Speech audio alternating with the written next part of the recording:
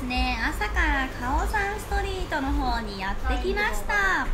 なんかこのチャーリーマッサージっていうところはとても人気店らしくて調べたら Google 先生がね星が4.4個ぐらいついてたの。だからすごくおすすめみたい。で何がおすすめかなと思ったらこのマッサージ屋さんの違うマッサージ師さんたちの腕は確かなんだけどなんかすごくねあのね店内も綺麗なの。なんか綺麗好きの2人もなんかすごくよ良い感じだね。うん良い感じみたい。トイレもすごく綺麗でびっくりしました。だからチャーリーマッサージあの概要欄の方にリンクを貼っておきますのでもし興味のある方はチェックしてみてください。そこは何が悪いの？痛いんですけど痛気持ちいいね。痛気持ちいいね。日本語ちょっとわかるみたいです。サソリ持ってる人いたで今。へえおやつ？スピンん？ノックあノック？え何？サソリ？スコピオン？スコピオン。ノック？No delicious No delicious まずい。よまずいらしい。へスコピオンんあ too much oil? めっちゃオイルだったよ。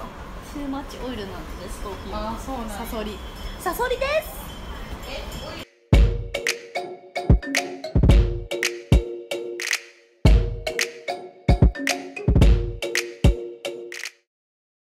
食べたいと思っていたカオマンガイのお店がなんか揚げてる鳥がないとか言われました。なので別の店舗を探すかなんか別のお店で食べようと思っております。すごくショック。なんかフライドポークにしかならなくてフライドチキンではないですか。ちょっと食べてみたいと思います。でみきちゃんはグリルドチキンです。よろしく。あお願いします。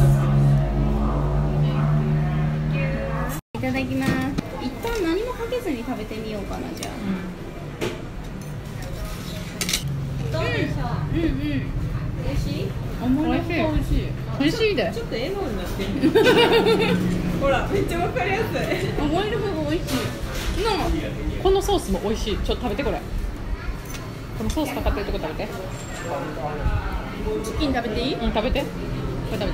あソースかかってないんだこれ、辛い辛いけど美味しい。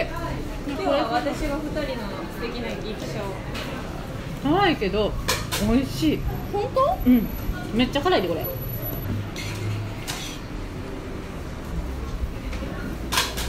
も二人の素敵な可愛い瞬間を収めようと思って。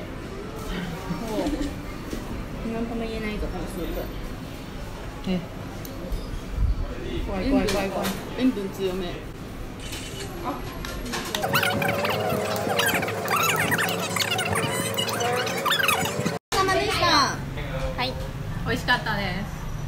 です。よかったですごちそうさまでした。これは一人50バーツでした。とても安い。150円。うん安っこれ150円。ごちそうさまでし美味しかったです。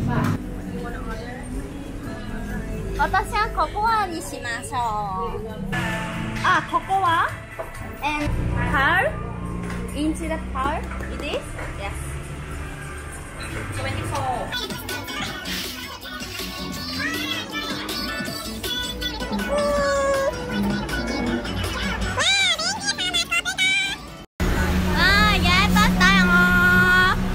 のび茶やってのび茶のび茶っていうタピオカの飲み物です。でこちら24バーツだったので日本円で、えー、と80円ぐらいでしょうかね。とても安く買えました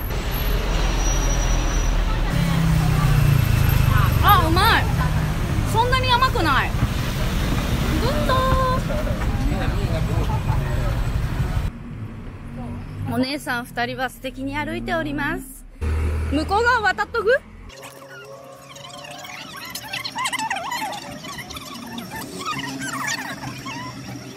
皆さんいかがだったでしょうか？カオサンストリートを紹介いたしました。交通量の多い道の横ですいません。すごくうるさいですよね。はいまあそんな感じでちょっとあの私たちのカオサンストリート3時間くらいをシェアさせていただきました。もしカオサンストリート行ったことない人で行ってみたいと思う方がいましたらぜひグッドボタンお願いします。あとですねインスタグラムではリアルタイムのあのことも配信しておりますのでもしフォローしていない方がいたらフォローもお願いします。はいそんな感じで終わっていきたいと思います。ではバイ。